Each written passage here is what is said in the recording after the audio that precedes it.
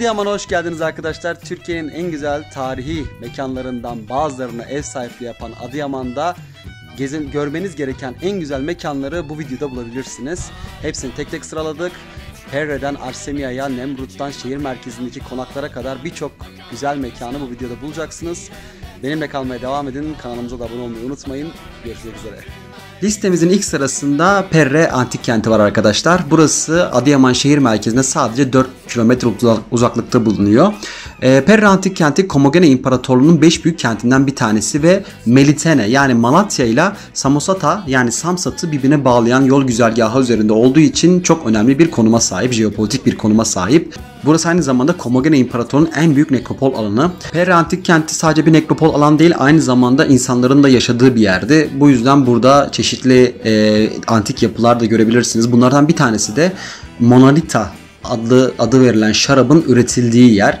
E, Monalita şarabı dünya üzerinde bir markayla ihraç edilen ilk şarap ve bu bu bölgede yapılmış. Buraya geldiğiniz zaman hemen zaten antik kentin üst kısmında bu şarabın üretildiği yerleri görebilirsiniz arkadaşlar. Aynı zamanda burada 19 metrelik yükseklikte de bir e, su sarnıcı da bulunuyor. Her iki tarafa ayaklarınızı basarak aşağıdan yukarıya doğru çıkabilirsiniz. Ben zaten bunları çok detaylı olarak bir ilk videomuzda anlatmıştım.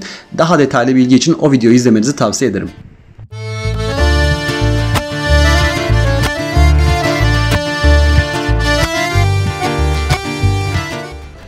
Adıyaman'da görmeniz gereken ikinci nokta Kereş Konağı arkadaşlar. Bu şehir merkezinde çok fazla eski konak göremiyoruz maalesef.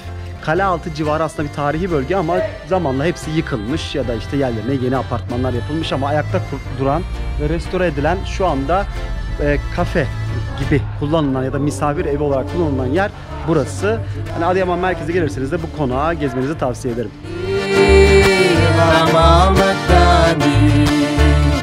Tamam.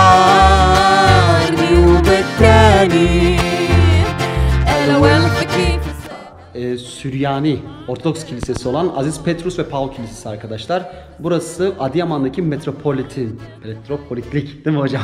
Bu kelime biraz zorlanıyorum söylerken.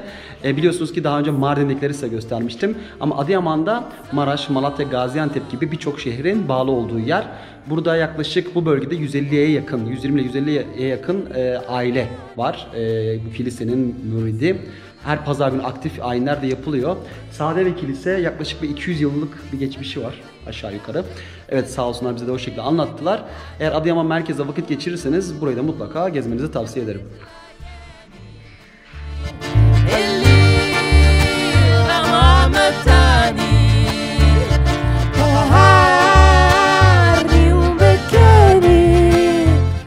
Sıradaki mekanımız Kahta yaklaşık 20 kilometre uzaklıktaki bir tepe üzerinde bulunan Karakuş Tümülüsü. Tümülüsü bilmeyenler için şöyle anlatayım. Ee, bir tür mezarlık. Yani bunların altında kraliyet ailesinden gelenlerin mezarlığı var. Ama buranın önemi e, Komagene İmparatorluğu'ndaki kadınların mezarlarının burada olması ve onu şehrin en yüksek noktalarından bir tanesine koymuşlar. Bu geldiğiniz bölge yani Karakuş Tümülüsü tamamen ücretsiz giriş yapabiliyorsunuz zaten. 4 tane sütundan oluşuyor. Arkamda gördüğünüz kartal e, figürü e, 20 metrelik bir sütun üzerinde bulunuyor ve bu göklerin hakimi anlamına geliyor. Hemen arkasında diğer önemli semboller olan aslan ve boğa heykelleri var. Bunlar da işte bir tanesi aslan yeryüzünün e, kudretini gösteren yani hakimiyetini gösteren diğeri de zaten boğa gücü simgeleyen olaylar.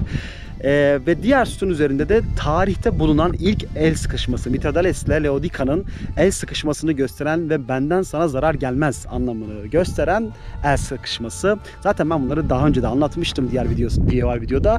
Bu sefer Adıyaman'da görmeniz gereken üçüncü yer olarak da bunu tekrar anlatıyorum. Şimdi diğer noktamıza doğru hareket ediyoruz.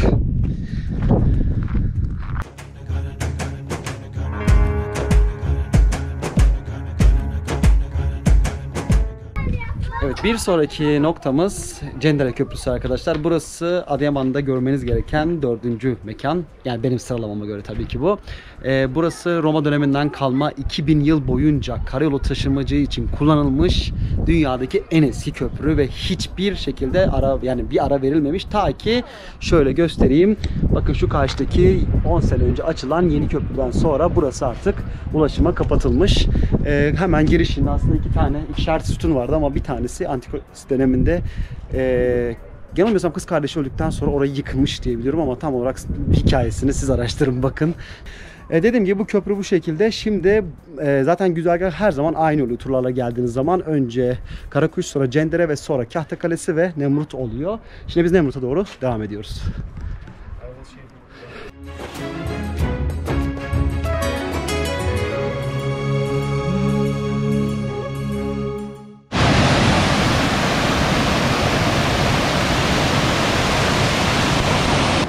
Adıyaman'da görmeniz gereken bir diğer nokta Şeytan Köprüsü'nün olduğu yer. Arkadaşlar burası tam Kahta Kalesi'nin alt tarafında böyle gizli bir cennet aslında. Çok fazla burayı bilmiyorlar.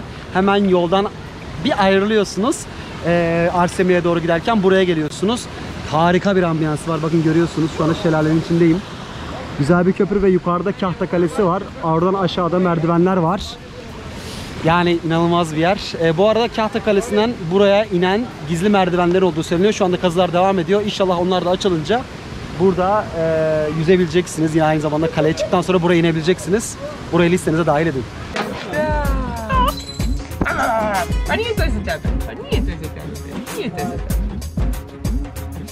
Desiti kyllä. Desiti kyllä,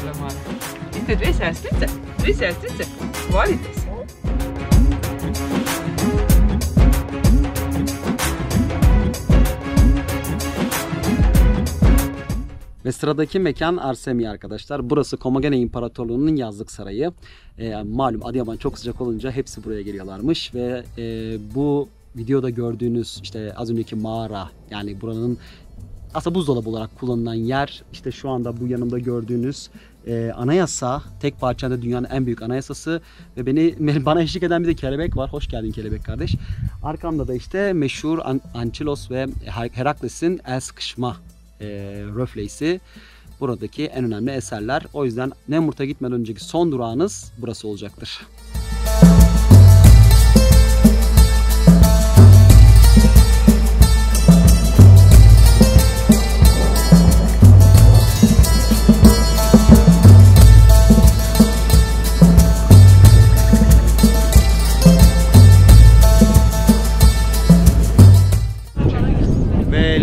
Son sırasında Nemrut arkadaşlar. Burası gün batımını ve gün doğumunu izlemek için dünyadaki en güzel yerlerden bir tanesi.